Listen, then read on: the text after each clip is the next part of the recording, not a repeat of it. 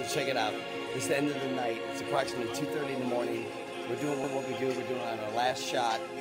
MP, I'm tired, but these girls have work to me tonight. Absolutely crazy. Um, Nikko Nation in the building, you already know, in the now.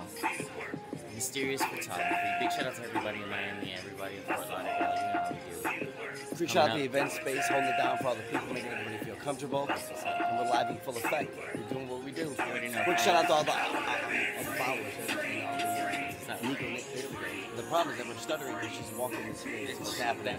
That's exactly what's going on. completely You totally made us us. we never stutter, and she made us stutter. And uh, so we're gonna.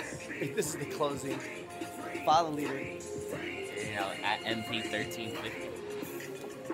At Nikko Nation.